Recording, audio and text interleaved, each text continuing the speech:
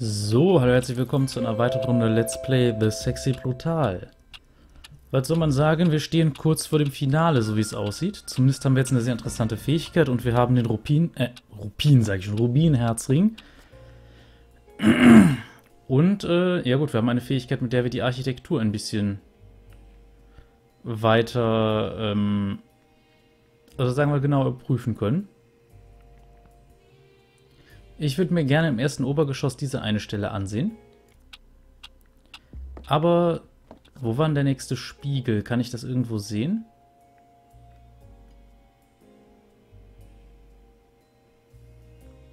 Einfach weil ich ja eine Schnellreise mit Spiegeln machen kann.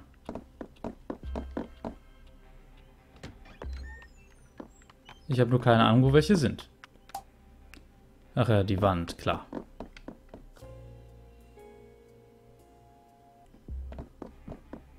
Irgendwo wird es einen geben.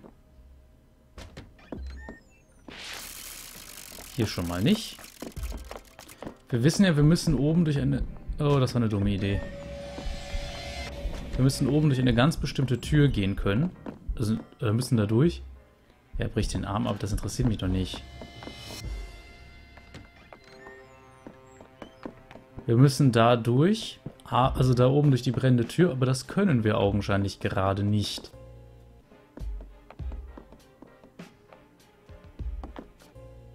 Ach, dann sind wir sogar hier. Okay. Das erklärt's, wenn ich jetzt versuche. Die Tür ist... Ach nee, an der Tür ist ein leuchtendes Herz, eingehüllt in blauen Flammen. Die Tür bewegt sich nicht. Sag bloß, wir können jetzt tatsächlich hier so durch. Das wäre jetzt äh, überraschend. Die Tür reagiert auf den Siegelring des Marquis. Die blauen Flammen werden schwächer. Mir fällt auch gerade auf, dass ich überhaupt noch keine Uhr angeschaltet habe. So, jetzt weiß ich nämlich dann auch, wie lang die Folge schon geht. So.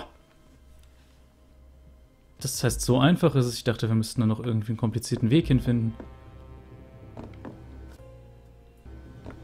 Und hier ist noch eine Treppe.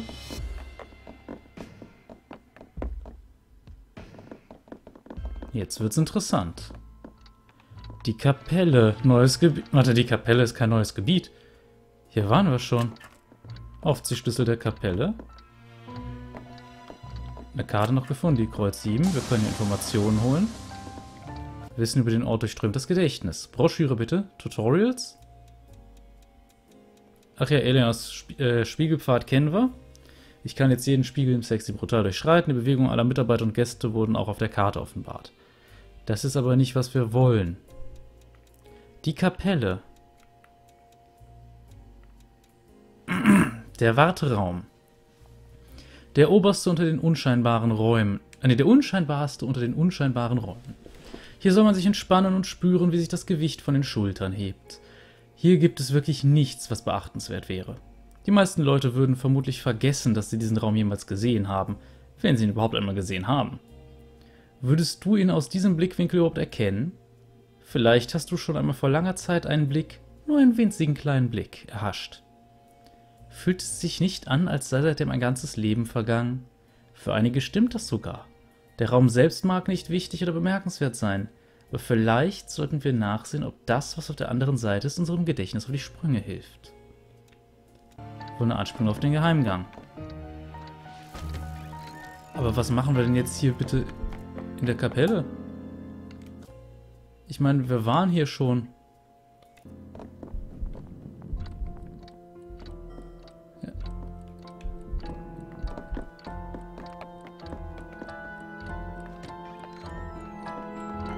Was bringt es mir hier zu sein?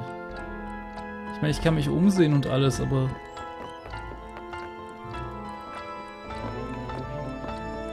Muss ich jetzt die Uhr wieder aufziehen? Sie muss aufgezogen werden, Tatsache. Das heißt, in der Kapelle wird es wieder was Neues geben, oder wie?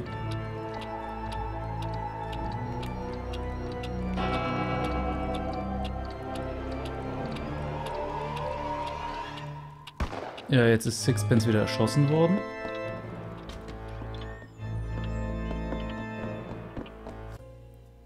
Aber irgendwas muss ich hier doch machen können. Möglichst ohne, dass ich dabei in einen äh, Kerl reinlaufe, der mich direkt umbringen will.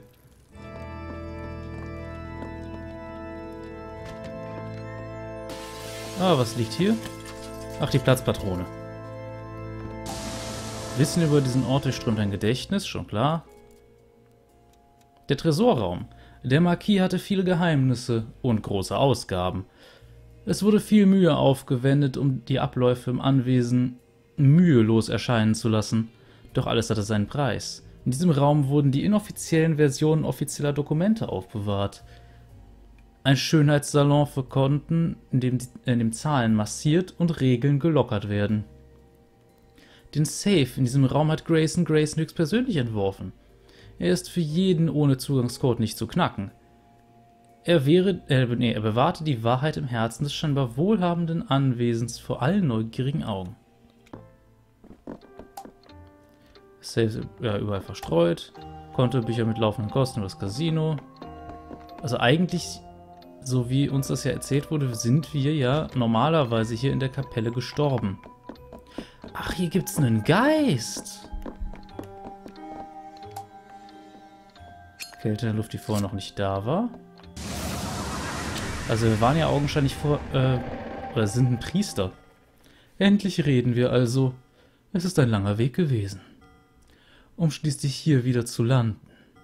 Nimm dies. Und ich werde weiterspielen. Der Karo König. Brachte also letzten Endes auch nichts.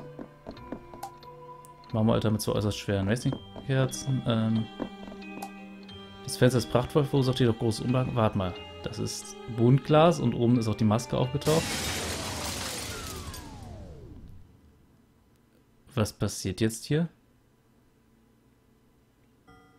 Gut gemacht, Boone. Bitte. Ach nee, das ist wahrscheinlich der Böse. Bitte, komm zu mir.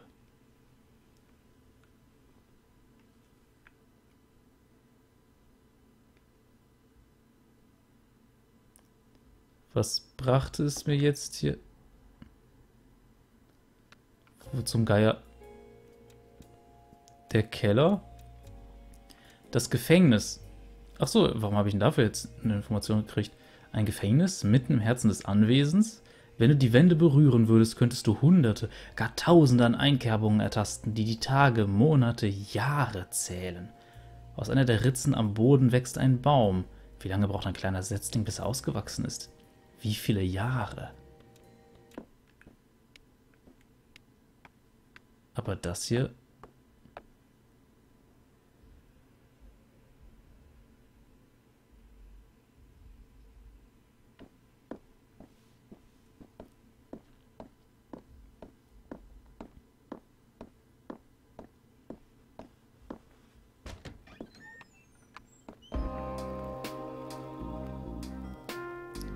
Ich habe keine Kontrolle über dich.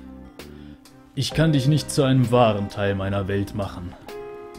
Aber wenn du siehst, entscheidest du vielleicht selbst, ob diese Welt für uns richtig ist oder nicht.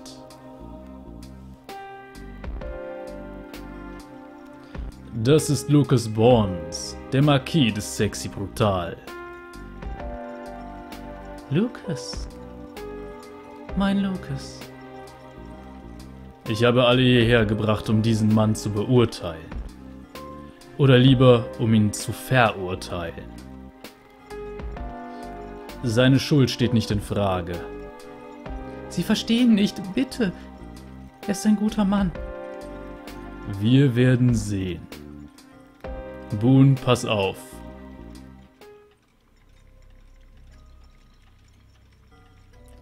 Wir haben noch Zeit. Ausreichend Zeit. Schließlich hat Sixpence das so kalkuliert. Die Sprengladungen sind alle so eingestellt, dass sie gleichzeitig hochgehen. Schlag Mitternacht. Ein Dutzend Gäste, die dann draußen in Sicherheit sein werden. Und ein Dutzend Zeugen, die meine Unschuld bezeugen können. Das ist riskant. Aber die Versicherung. Ein neues Leben für Eleanor und mich.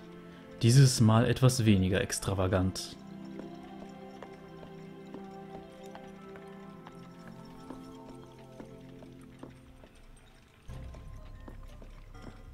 Lucas. Mein Lucas.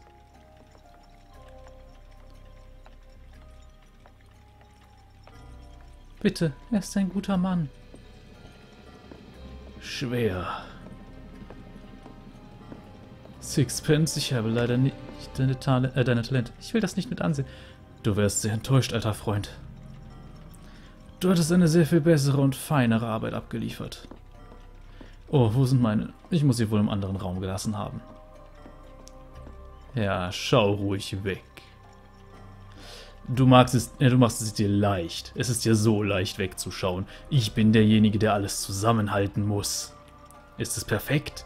Nein. Aber es ist richtig. So richtig, wie wir es eben verdienen. Bitte, er ist ein guter Mann.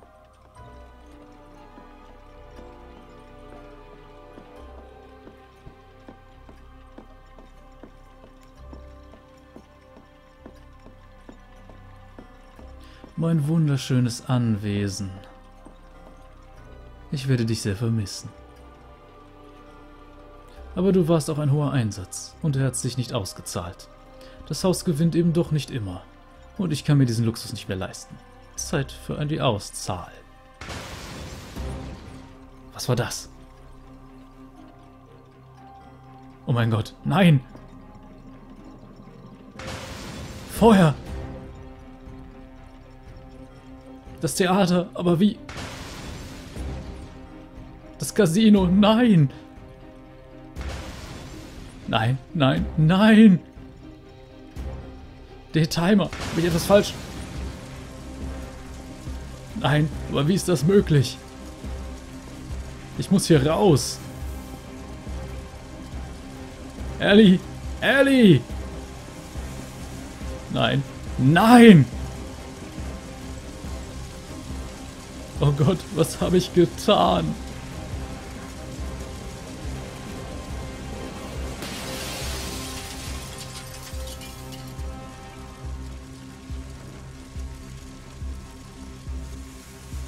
Hm, so hat die Geschichte also seinen Anfang genommen. Er hat diesen Sturz überlebt. Ein wenig lediert, ziemlich verletzt. Aber er hat gelebt. Das ist der Beweis, Boone. Dieser Mann hat sein eigenes Haus in Brand gesetzt, nur um die Versicherungssumme zu kassieren. Alle in diesem Haus sind in Wahrheit nicht riesigen Spinnen, Dämonenfischen oder tödlichen Fallen zum Opfer gefallen. Sie starben in dem Feuer, das dieser Mann gelegt hat. Ich habe das Haus am Laufen gehalten, die, Tote, äh, die Tode dramatisiert, für ein bisschen Flair gesorgt. Aber dieser Mann ist in Wahrheit verantwortlich für die Tode in diesem Haus. Das ist noch nicht alles. Du weißt nicht. Es ist mehr als genug. Wir werden warten, Boone. Wenn du es herausfinden kannst, wenn du den Wunsch hast, diesen Mann zu retten, dann nur zu, ich werde dich nicht aufhalten.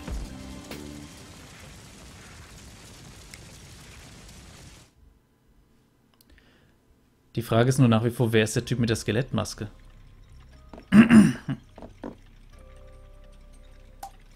Deine Taschenuhr tickt im perfekten Einklang mit dieser Uhr. Auch das ist einfach nur eine Uhr.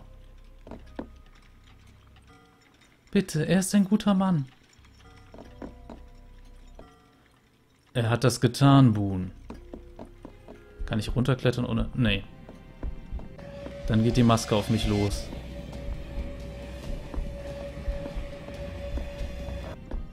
Ich muss also versuchen, den Kerl irgendwie zu behindern, wenn er weg ist. Auf jeden Fall interessant. Also wir wissen doch von der blutigen Frau, dass es augenscheinlich die Nichte von Sixpence, wenn ich mich recht erinnere, ist. Und augenscheinlich ist die in diesen Marquis verliebt. Aber es scheint ja nicht Eleanor zu sein.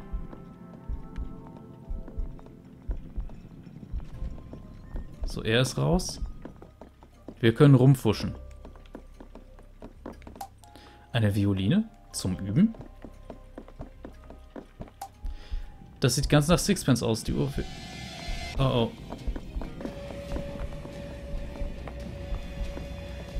Er geht später ja nochmal raus.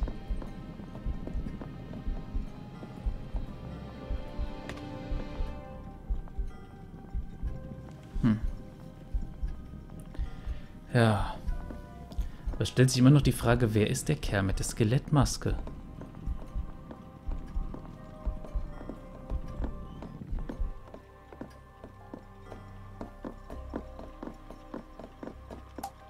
Sieht ganz nach Sixpence aus, der Uhr fehlen ein paar Teile. Eine riesige Uhr über dem Anwesen Zahnräder in perfektem Handwerk mit unvergleich mit sechs Pennies Logo eingestanzt ins Metall. Eine Bibel, die Inschrift laut, äh, stammt von Lefcadio. Die kleine Statue wurde von Trinity gemeißelt. Kontobücher zeigen die Verluste des Casinos.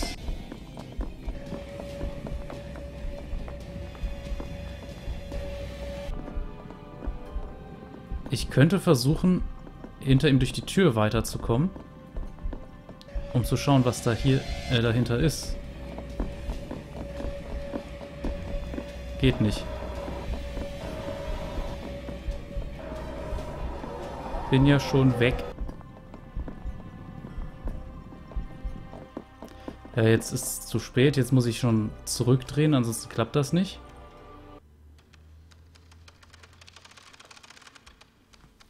Ich muss also irgendwie schauen, was er genau macht und vielleicht selbst durch die Tür kommen.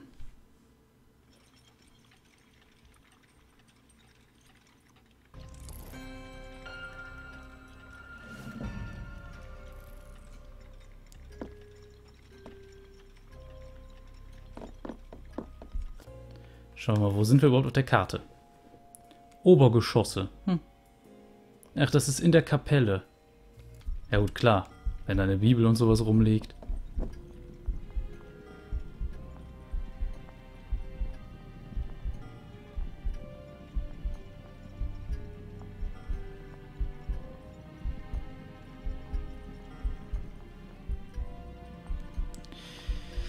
Er hält wieder seinen kleinen Monolog. Und wir müssen irgendwie verhindern, dass, äh, dass er, also dass hier irgendwas passiert, sag ich mal. Die Frage ist nur, wie? Moment. Nein, es ist Zeit, das zu klären. Hier, jetzt. Kommt durch die Tür, verdammt. Ich habe keine Ahnung, was er gemacht hat. Also, also irgendwie hat er natürlich das Ding geholt. Aber wenn ich durchgehen will, sagen die, das ist, es ist in der Zeit, das zu klären. Ja, sie sagt immer nur, bitte, er ist ein guter Mann. Der sagt, er hat das getan, Boon.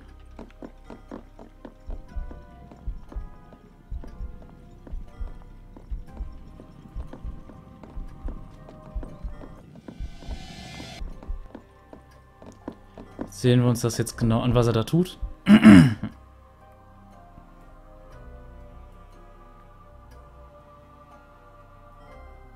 hm, ich dachte, ich hätte Orms Seitenschneider hier gelassen. Aber egal, ich kann Orm neues Werkzeug kaufen.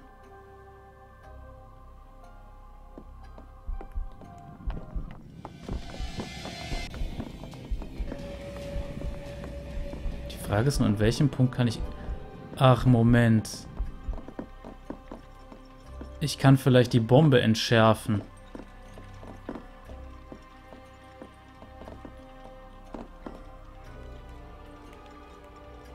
Oder ich kann sie hochgehen lassen, bevor er es... Äh, ja, wobei, aber das bringt dann auch nichts.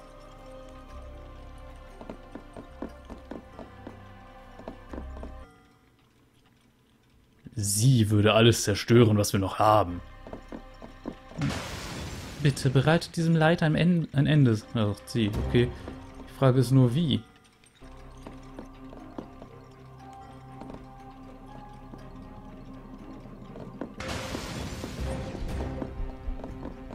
Ich kann nur leider nicht runter.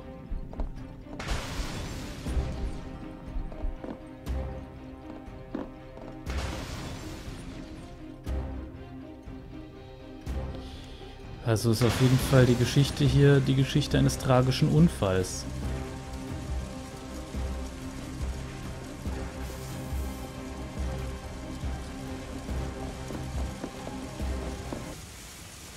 Wir haben nichts davon, gar nichts. Ja, Qualen, ja, Leid, das ist der Preis, den wir zahlen, den ich zahle.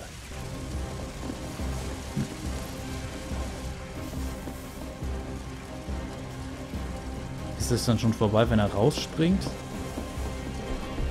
Ich kann nicht mehr runter.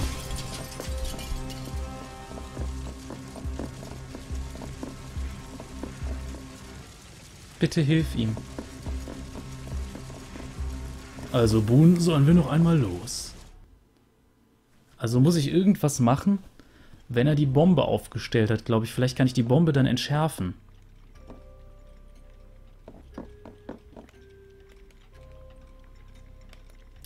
Also ich muss warten, bis er die Bombe aufstellt und nochmal weggeht.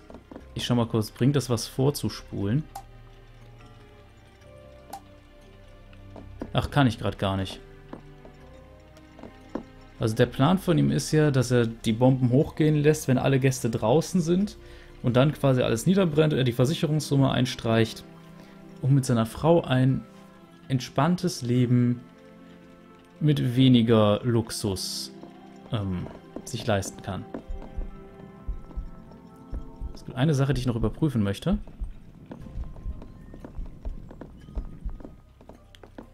Nämlich hier den Schreibtisch nochmal kurz. Kontobücher. Mehr war da nicht. Ja, und hier war auch nur eine Bibel. Decker kommt rein, seine Maske wird sauer. Der bleibt aber auch nicht lange, der geht dann halt auch relativ schnell weg. Weil er den Seitenschneider sucht, der noch irgendwo ist. Ich kann hier auch an keinem... Also an ihr kann ich nicht vorbei und ich frage mich, was das für Zahnräder im Hintergrund sind. Also warum die zum Beispiel unterschiedlich gefärbt sind. So.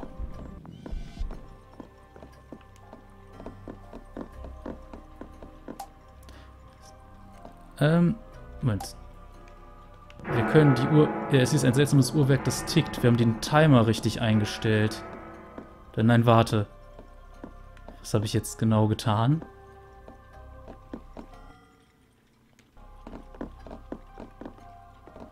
Also ich habe die Uhr mit meiner synchronisiert.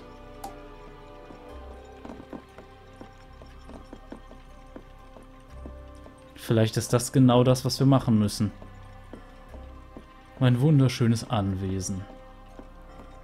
Ich werde dich sehr vermissen. Aber du warst auch ein hoher Einsatz und er hat sich nicht ausgezahlt. Das Haus gewinnt eben doch nicht immer und ich kann mir diesen Luxus nicht mehr leisten. Zeit für die Auszahl. Was war das? Oh mein Gott, nein! Feuer! Theater, aber wie? Das Casino, nein. Ach, ich verstehe jetzt. Ich habe die Bombe als neuen Spawnpunkt und werde im anderen Raum auftauchen. Timer, habe ich etwas falsch? Ja. Wir äh, starten neu. Und sind dann im anderen Raum, wo die Bombe zuerst steht.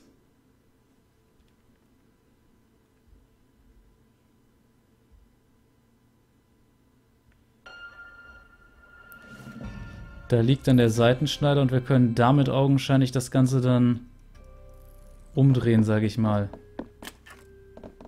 Oh, im Seitenschneider, was haben wir noch? Ein Nachbau des Sexy Brutal. Die Stellen der, Ka äh, der Kamine wurden mit Flaggen markiert. So, wir haben die Bombe entschärft.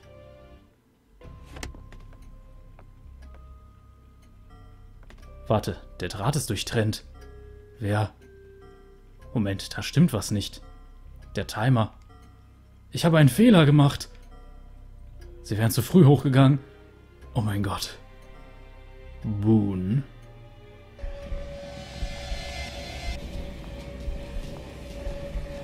Ich kann mich nicht bewegen. Die Maske greift mich einfach an.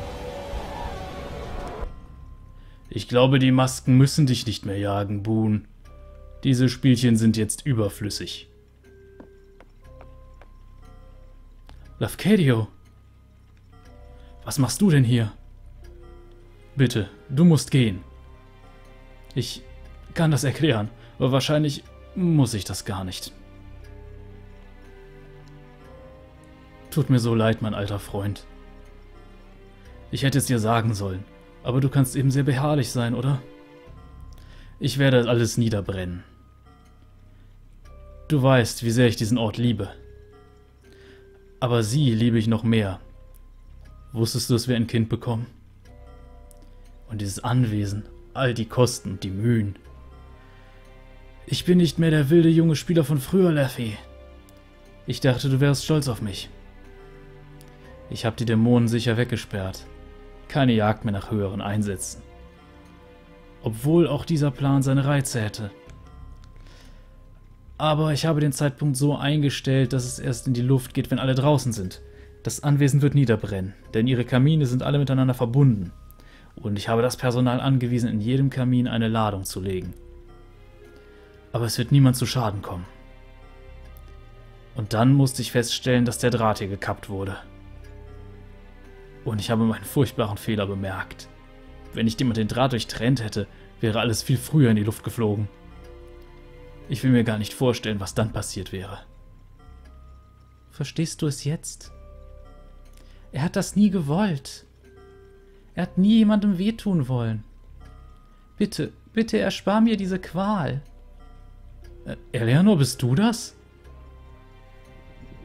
Ja, ist er also doch. Tatsache.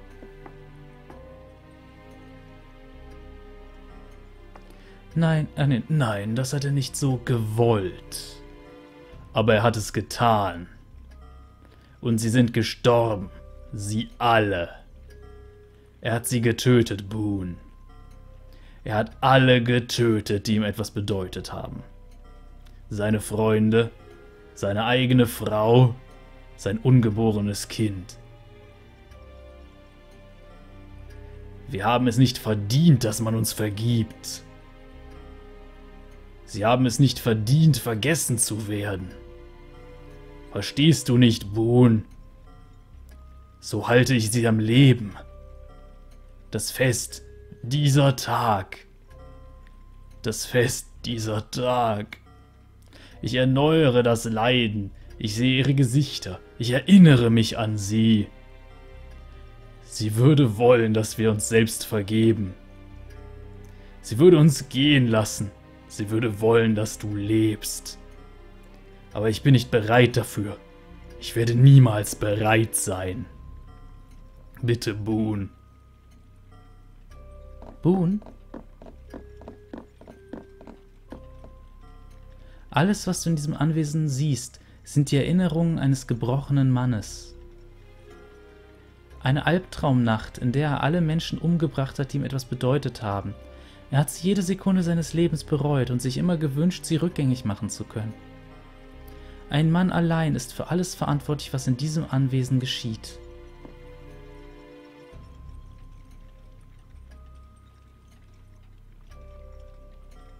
Lucas. Also das Skelett ist so eine Art schlechtes Gewissen? Augenscheinlich. Lucas.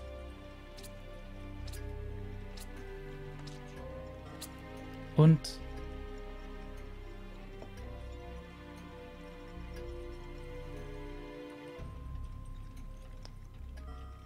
Lucas. Das ist jetzt verwirrend. Schau, wie alt du geworden bist, mein Lieber. Es ist an der Zeit. Wir müssen ihn aufsuchen. Also, das ist jetzt echt verwirrend. Tja, alle drei derselbe, nur unterschiedlich alt? Wie kann jemand zu seinem alten Ich aufsehen und, naja, seltsam. Und die Bediensteten? Alles derselbe.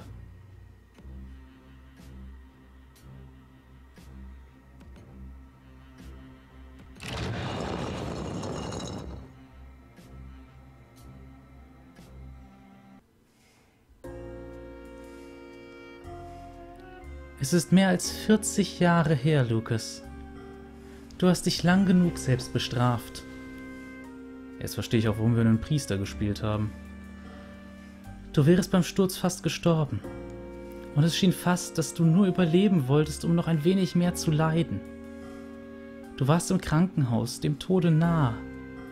Du warst im Gefängnis. Auch das war nicht genug. Jeden Tag hast du gelitten und uns vermisst. Wir sind nicht hier, um dir zu vergeben, Lukas. Das würdest du nicht wollen. Wir sind verloren und wir können die Worte nicht aussprechen. Du kannst niemals wissen, ob wir die Worte überhaupt aussprechen würden. Aber so sehr du dich auch selbst gehasst hast, eines hast du immer gewusst. Tief in deinem Herzen hast du gewusst, dass ich nicht gewollt hätte, dass du auf ewig leidest. Eines Tages muss es genug sein. Und dieser Tag könnte heute sein, Lukas, wenn du es willst. Wenn du bereit bist. Du musst nichts vergessen. Du musst dir nur genug vergeben, um leben zu können. Sein bloßer Anblick ist für mich schon schmerzvoll. Genauso wie mein Anblick schmerzvoll für dich ist. Er ist der König des Anwesens. Er ist möglicherweise der unverfälschteste Beweis in deine Seele, in die unverfälschteste Blick in deine Seele, Liebster. Schwach, vernachlässigt, allein, aber überaus mächtig. Genug Zorn, Schmerz und Trauer, um dieses Anwesen hunderte Male zu zerstören und wieder aufzubauen. Gefangen hier unten, durch diese Spiegel dabei zusehend, wie seine Freunde wieder und wieder ermordet werden. Er ist der König des Anwesens, aber ein Marionettenkönig. Es ist an der Zeit, ihn von dieser Pla äh, Qual zu erlösen.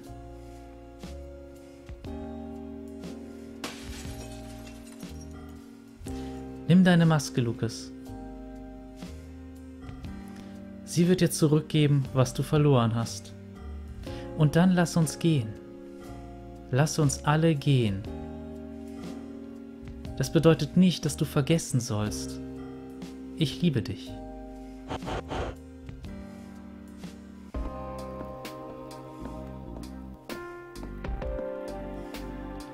Es gibt noch eine andere Möglichkeit. Geh fort. Nimm diese Uhr. Dreh die Zeit zurück Lass das Fest von neuem beginnen. Wir werden alle da sein. Deine Freunde werden da sein. Dein Anwesen, deine Erinnerungen. Du musst sie nicht gehen lassen. Es ist deine Wahl. Willst du den Tag neu starten, ja oder nein? Ich denke, wenn wir jetzt die ganze Zeit quasi die Wahnvorstellungen eines, äh, wie soll man sagen, eines alten Mannes gespielt haben, ja, das muss irgendwann aufhören. Wir starten nicht neu. Dieser Ort gehört dir, Lukas. Er ist furchtbar und heruntergekommen und verflucht. Du musst hier kein Gefangener sein. Ich habe dich geliebt. Ich habe dich so sehr geliebt und du mich. Ich weiß, dass es dir leid tut. Ich weiß, dass das nicht ausreicht. Aber es ist geschehen. Löse dich von dem Schmerz. Lebe dein Leben. Auf Wiedersehen, Liebster.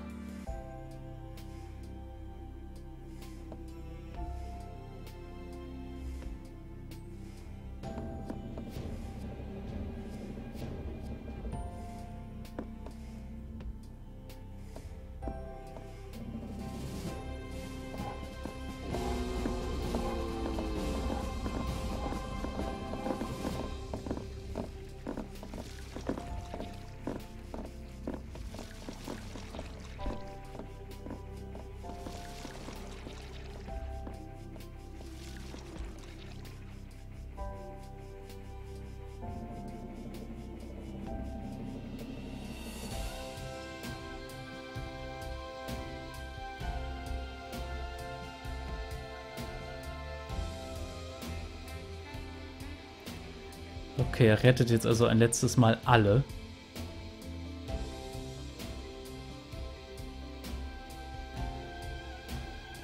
Aber das ist doch eine kranke Sache, dass der Kerl sich quasi... Also wir waren ja quasi der Teil des Ichs, der vergeben will, der Priester. Und der andere war ja quasi der Teil des Ichs, also das Schuldbewusstsein, sage ich mal das sich immer wieder vorgeführt hat, wie er die anderen umbringt, und zwar dann auf die diabolischsten Weisen, die er sich ausmalen konnte. Auf Wiedersehen, Liebster. Was, auch, nee, was immer ich auch bin, ich bin immer hier. Besuche mich, wenn du willst, aber bleib nicht zu lange. Es wird Zeit, neue Erinnerungen zu schaffen. Zeit, das Leben zu leben, das du noch hast.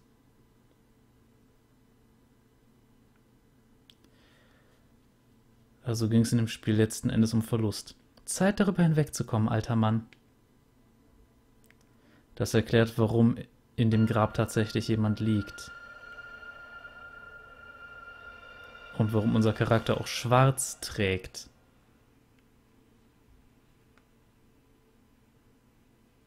Also ist Lefcadio Boone niemand anders gewesen als Lucas Bonds. Das war The Sexy Brutal. Das Ende hat mich schon so ein bisschen geflasht, muss ich zugeben. Also es ging um Verlust und dass jemand ja, mit sich ins Reine kommen musste. Allein diese Vorstellung, dass der wieder und wieder und wieder das alles durchlebt und sich dabei selbst, also ein Teil von ihm betrachtet sich selbst als eine Art, ja, Showmaster, der das Ganze inszeniert und ja, schon fast sadistisch beobachtet, aber einfach nur also als negative Darstellung seiner eigenen Person. Er hat sich selbst gehasst dafür, dass das passiert ist und dass er als einziger überlebt hat. Ja, und die ganzen Diener, die da aus den Spiegeln kamen, das war jedes Mal er selbst.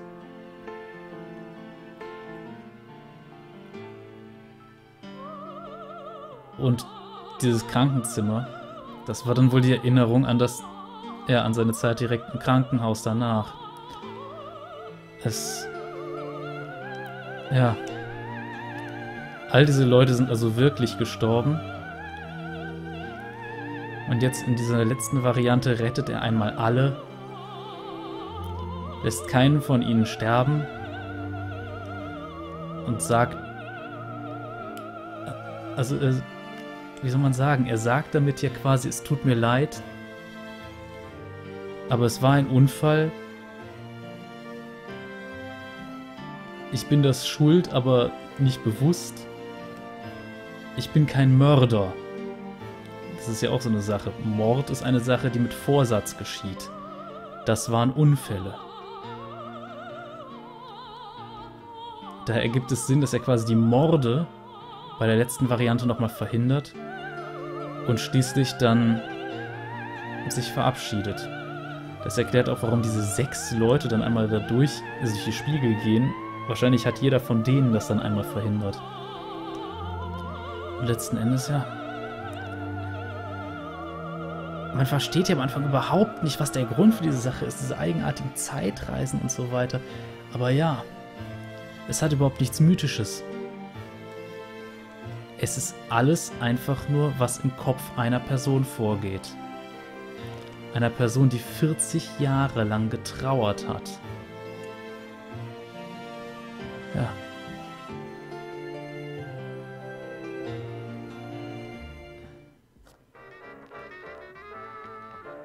Und ja, damit sind wir am Ende von diesem Spiel. Ich finde, also das Ende fand ich gerade einfach großartig. Das ich weiß gar nicht, was ich da sagen soll. Klar, die Folge ist jetzt ziemlich lang geworden, aber ich finde, beim Finale kann man das machen. Und ja, ich hoffe, euch hat das Projekt gefallen. Es war natürlich ein relativ kurzes. Und jetzt verstehen wir, was da alles passiert ist. Falls Leute ein paar Sachen nicht, äh, nicht ganz verstanden haben oder interessante Interpretationen auch dafür haben, bitte in die Kommentare. Ich bin da echt gespannt. Und ja, eine Sache, die ich noch erwähnen wollte. Auf meinem Pen and Paper Kanal geht es gerade wieder weiter. Also, was heißt wieder? Ich war ja über ein Jahr Pause. Ich habe ja bei mir auf dem Kanal unter der Sparte, wo ich andere Kanäle vorstelle, ähm, auch den Kanal Die Rollenspielfestung ähm, markiert. Schaut da mal vorbei, falls ihr Interesse an Pen and Paper Rollenspiel habt. Wird interessant. Aber genug von der Eigenwerbung, zurück zu dem Spiel hier. Ja, das erklärt jetzt, was der Grund für alles war, was eigentlich wirklich passiert ist. Ja. Ein Mann, der seine besten Freunde verliert. Der, es ergibt auch eigentlich ziemlich viel Sinn, dass man auf diesem typischen Bild eigentlich alle sieht, nur nicht Boone. Weil es Boone in der Form nie gegeben hat. Oder wenn, dann war das jemand, der an dem Tag einfach nicht da war. Lefcadio Boone. Ob es den wirklich gab, weiß ich nicht. Aber was wir gespielt haben, war nicht wirklich Boone. Das war in dem Fall der Teil, ja, der Teil von Lucas Bonds, der sich vergeben wollte. Vielleicht war es auch seine Liebe zu seiner Frau, ich weiß es nicht. Aber wir haben quasi mehr einen Persönlichkeitsaspekt gespielt als eine eigentliche Person. Vielleicht ist es wirklich... Ja, die Reue gab es ja durchaus. Wobei diese Reue schon fast äh, quasi Selbsthass war. Aber ja, genug davon. Ich finde das Ende und wie das aufgelöst wurde, das fand ich echt gut. Muss ich ehrlich zugeben. Also, genug davon. Mal schauen, was ich als nächstes Projekt bringe. Bis zum nächsten Mal. Cheerio!